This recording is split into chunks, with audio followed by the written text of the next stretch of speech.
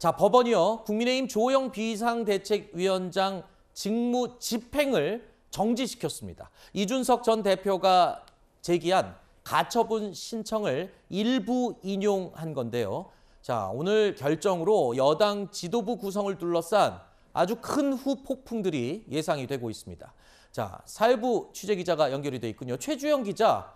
자, 오늘 법원의 결정 주요 내용 지금 핵심 사항 먼저 정리해 주시죠. 네, 법원이 주호영 국민의힘 비상대책위원장의 직무 집행을 정지시켰습니다. 오늘 서울 남부지법은 이준석 전 대표가 국민의힘과 주호영 비대위원장을 상대로 낸 가처분 신청에 대해 이렇게 결정했는데요. 주호영 비대위원장에 대해 제기한 가처분 신청을 인용해 준 겁니다. 법원은 국민의힘 비상대책위원회가 설치 요건을 충족하지 못했다고 판단했는데요. 전당대회에 추인을 받지 못한 정국이 의결을 통해 당원을 개정하고 비상대책위원장을 임명한 건 중대한 하자가 있다고 본 겁니다. 결국 이 결정을 무효로 보는 게 맞다는 건데요.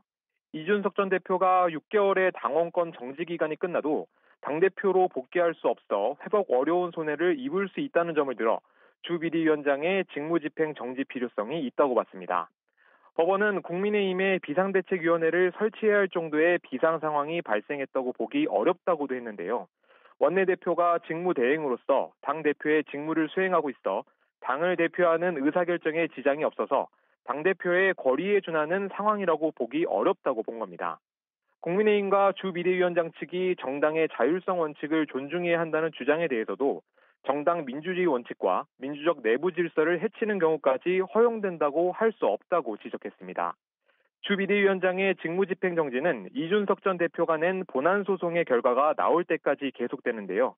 이미 국민의힘이 비대위 체제로 전환한 상황에서 오늘 법원 결정으로 큰 혼란에 빠질 걸로 보입니다. 지금까지 사회부에서 전해드렸습니다.